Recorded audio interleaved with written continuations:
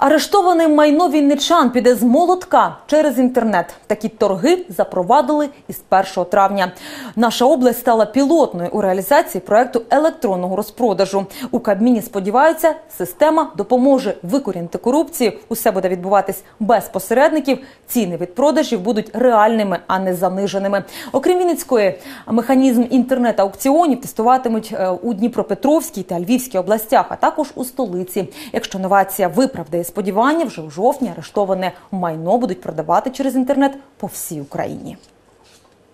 Майно стягнуте з боржників Державною виконавчою службою продаватимуть з молотка через інтернет. Вінниччина стала одним з пілотних регіонів, де тестуватимуть електронні торги арештованим майном. Так Кабмін намагається боротися з корупцією, що укоренилася в цій сфері. Бували скарги з приводу того, що там е, купляють виключно певне коло осіб, не допускають всіх бажаючих до прилюдних торгів. Ну, в зв'язку з цим було прийнято рішення, щоб запровадити даний пілотний проект. Товари на реалізацію виставлятимуть на спеціальному сайті з 1 травня. Від моменту появи лоту на сайті покупцям дають місяць для подання заяви на участь в торгах. Зареєструватись може будь-хто, сплативши 5% від початкової ціни, що встановив оцінщик.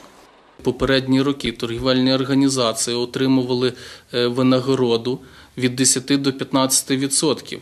А сьогодні державне підприємство інформаційний центр буде брати всього лише 5 відсотків.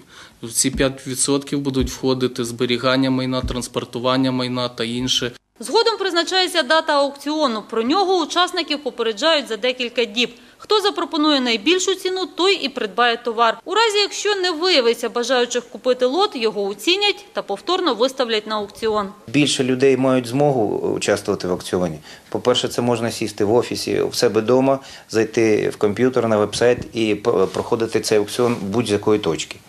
І залучення більшої кількості е, людей, які будуть участвувати в аукціоні, це і надходження до бюджету. Система електронних торгів широко використовується у Європі. До жовтня її тестуватимуть у Вінницькій, Дніпропетровській та Львовській областях, а також у Києві. Якщо торги онлайн пройдуть вдало, новацію розповсюдять по всій Україні. Лариса Бондар, Олег Літвінцев. Новини телеканал Віта.